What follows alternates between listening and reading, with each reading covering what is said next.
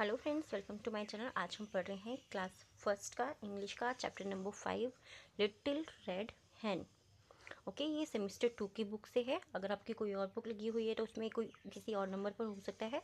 But जो chapter का name है वो है लिटिल रेड हैन यानी कि लाल छोटी मुर्गी। हैन मीन्स क्या होता है? मुर्गी। Okay read this play about little red hen read means क्या होता है? पढ़ना। Okay okay?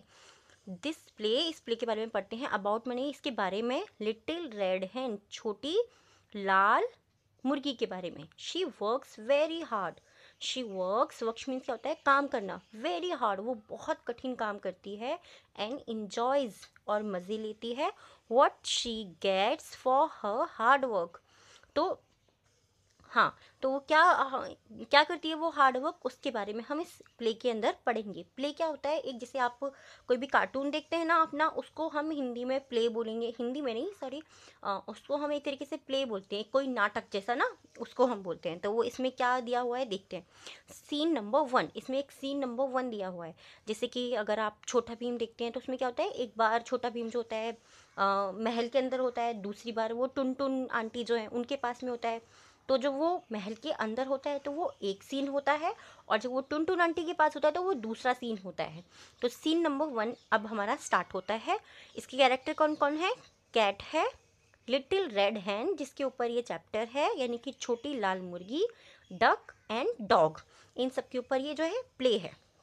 So little red hen goes to the field okay, little red hen जो छोटी लाल मुर्गी है, गोज टू द फ़ील्ड। जो फ़ील्ड होते हैं मतलब मैदान जो होता है, वो वहाँ पर जाती है। She find some grains of wheat she find, वो पाती है। फाइंड मीन्स क्या होना है? मिलना या पाना। सम ग्रेन्स, कुछ अनाज के दाने, जैसे कि गेहूँ।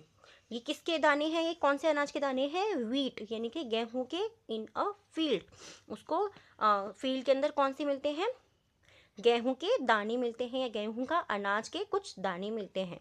She goes she does not eat them वो उनको नहीं खाती है। शी डज नॉट वो नहीं खाती है। ईट दैम उन्हें नहीं खाती है।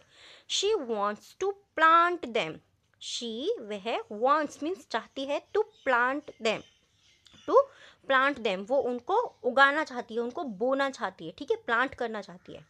Her friends live near the field her friends उसके जो फ्रेंड्स हैं उसके लिव रहते हैं नियर द फ़ील्ड उसके जो नियर फ़ील्ड जो है, वो जो मैदान है जहाँ पर वो है, उसके पास में उसके फ्रेंड्स रहते हैं. शी आस्क वह पूछती है देम उनसे टू हेल्प हर उसकी हेल्प करने के लिए डिग द फ़ील्ड यानी कि डिग मीन्स क्या होता है? खोदना। फ़ील्ड को खोदने के लिए वो अपने फ्रेंड से पूछती है एंड प्लांट द सीड्स और वो जो सीड्स होते हैं उसके बाद उनको प्लांट करने के लिए ओके सो so, अब क्या है? हैन पूछ रही है हैन कन्वर्सेशन करनी है अपने फ्रेंड्स के साथ में। हैन हैन बोलती है हेलो फ्रेंड्स यानी कि जैसे आप नॉर्मली अपने फ्रेंड्स से बोलते हैं ना हेलो फ्रेंड्स वैसे ही बोलती है I have found some grains of wheat I have found यानी कि मुझे कुछ मिला है सम ग्रेन्स ऑफ़ वीट गेहूँ के कुछ दाने मुझे मिले हैं। Will you help me plant them क्या तुम मेरी हेल्प करोगे उन्हें बोने में? ठीक है? Will you help me to plant them यानी कि क्या तुम मेरी हेल्प करोगे उन्हें बोने में? सो so, जो उसकी फ्रेंड है डक वो कहती है नोट आई मैं नहीं आई एम टू बिज़ी मैं बहुत बिज़ी हूँ। वो क्या बोलती है? आई एम टू बिज़ी मैं बहुत बिज़ी हूँ यानी कि मैं बहुत व्यस्त हूँ। हिंदी में हम बोलते हैं बिज़ी को व्यस्त ठीक है? सो अब उसकी जो एक और फ्रेंड है कैट उसने फिर कैट से भी पूछा है। उसने सब फ्रेंड से पूछा है ना कि तुम मेरी हेल्प करोगे क्या? सो so, कैट भी उसे कहती है नॉट आई मैं भी नहीं. माई किटन आ सिक किटन्स क्या होते हैं? यानी कि जो कैट होती है, जो बिल्ली होती है, उसके बच्चे होते हैं, उनको क्या बोलते हैं हम kittens so my kittens are sick जो मेरे बच्चे हैं, बिल्ली के जो बच्चे हैं, वो क्या है? सिक वो बीमार हैं. और डॉग भी बोलता है नॉट आई मैं भी नहीं. I am I have to guard the field I have to guard the field यानी कि मुझे जो गार्ड मीन्स क्या होता है? गार्ड मीन्स होता है वो फ़ील्ड की देखभाल करना, उसको, उसकी देख रेख करना, ठीक है? तो I have guide the field मुझे एक फ़ील्ड की मैदान की जो है देखभाल करनी है। अब जो हैन है then I will plant them myself अब हैन बोलती है देन तो आई विल मैं करूँगी प्लांट देम माई सेल्फ यानी कि माई सेल्फ मतलब क्या होता है? अपने आप। जैसे कि मैं अपना कोई काम खुद से करती हूँ तो बोलती हूँ I do it myself यानी कि मैं अपने आप उनको प्लांट करती हूँ, उनको बोती हूँ। ठीक है? सेइंग दिस ये कहने के बाद little red hen goes away little red hen goes away जो लिटिल रेड थी, वो थोड़ा दूर चली गई। शी डिग्स द फ़ील्ड उसने फ़ील्ड को खोदना शुरू किया। डिग मीन्स क्या होता है? खोदना। बताया था ना मैंने आपको डिग मीन्स खोदना। द फ़ील्ड देन तब she plants the grains all the all by herself और उसके बाद उसने सारे के सारे जितने भी सीड्स थे, उसके पास में ग्रेन्स ठीक है?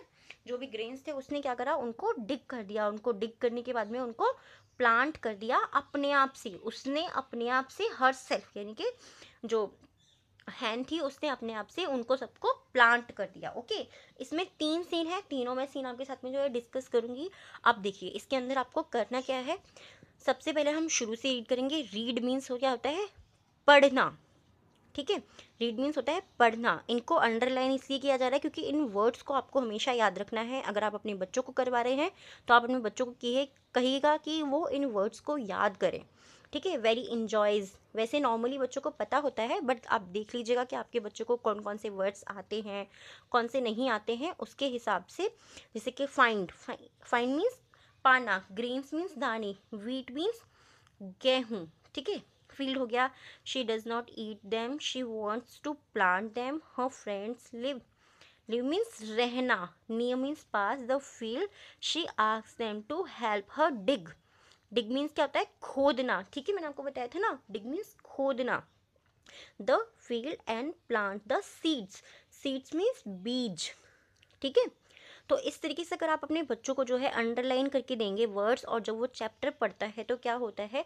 बार बार उसकी नज़र जो है, जो वर्ड्स अंडरलाइन किए हुए हैं, उन पर जाती है और धीरे धीरे जो है ऑटोमेटिकली उनको वो वर्ड्स याद होने शुरू हो जाते हैं। आपको बहुत मेहनत नहीं करनी पड़ेगी अगर आप अपने बच्चों को पढ़ा रहे हैं। मैं अपनी मोस्टली हर वीडियोज़ में ये चीज़ बोलती हूँ कि आप अंडरलाइन ज़रूर करवाइए बच्चों से पेंसिल से। उससे क्या होता है ना कि बच्चों की नज़र रहती है उन वर्ड्स के ऊपर। अगर बच्चा यहाँ पढ़ रहा है, अगर उसका फोकस हट भी रहा है ना तो अगर उसने यहाँ देखा तो उसकी नज़र एक बार जाएगी। सीड्स ठीक है? फाइंड्स ठीक है?